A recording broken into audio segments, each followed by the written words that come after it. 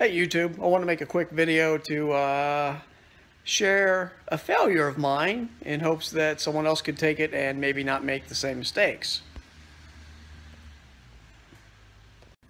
I attempted to build a bookcase, bookcase, and I made several mistakes along the way. And I thought I would share those so maybe others wouldn't have to make my same mistakes.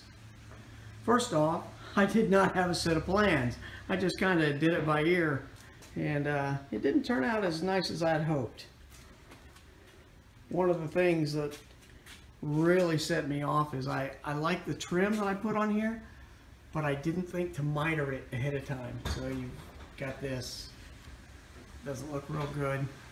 And while I made the shelves level, going one way like this, I didn't think to measure them this way. So they, there is a slight angle to all of them. And I didn't stain it the right way, so it looks pretty rough in spots. I did scroll saw these and I think they turned out pretty nice. And it is pretty steady. But all in all, not the best work in the world. But not bad for a beginner project.